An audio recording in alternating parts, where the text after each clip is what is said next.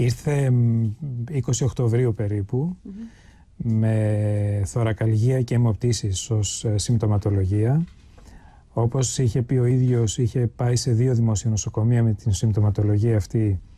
Ε, είχε πάρει απλά μια συμπτωματική φαρμακευτική αγωγή ε, και μόλις είχε πληροφορηθεί ότι πρέπει να πληρώσει ο ίδιος στα νοσηλιά του ε, δεν έκανε την εισαγωγή. Οι γιατροί του Κοινωνικού Ιατρίου Ελληνικού έστειλαν τον 65χρονο άνεργο αυτοκινητιστή για εργαστηριακές εξετάσεις και αξονική θώρακο και εντόπισαν πιθανό έβριμα καρκίνου, το οποίο έπρεπε να διερευνηθεί περαιτέρω. Τότε άρχισαν, όπως μας λένε, να επικοινωνούν με τα δημόσια νοσοκομεία. Επί ένα μήνα έβρισκαν κλειστές πόρτες. Με τους κλειστούς προπολογισμού και αυτά τα νοσοκομεία έχουν πρόβλημα.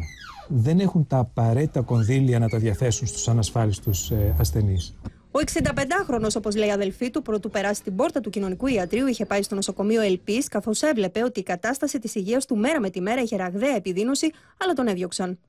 Μου λέει: Είχα πάει λέει, στο Ελπής, στο νοσοκομείο, με πόνους και με είδε ένας γιατρός.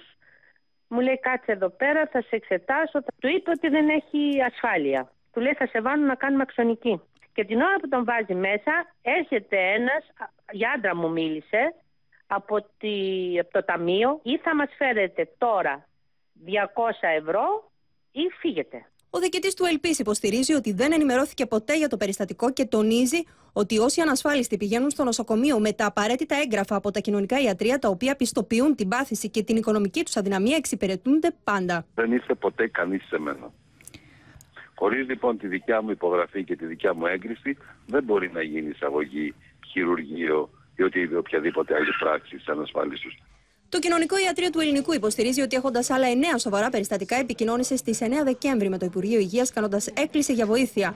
Όμως λένε ότι δεν πήρε απάντηση και επανήλθε εκ νέου στις 20 Δεκέμβρη, τονίζοντας ότι τόσο ο 65χρονο όσο και οι άλλοι 9 που χρήζουν νοσηλείας κινδυνεύουν να χάσουν τη ζωή τους. Τελικώς υπήρξε ανταπόκριση χθες από το γραφείο του Υπουργού Υγείας για να νοσηλευτούν οι ανασφάλιστοι ασθενείς, αλλά ήταν αργά. Ο 65χρονο άνεργος είχε ήδη χάσει τη μάχη στις 30 Δεκέμβρη.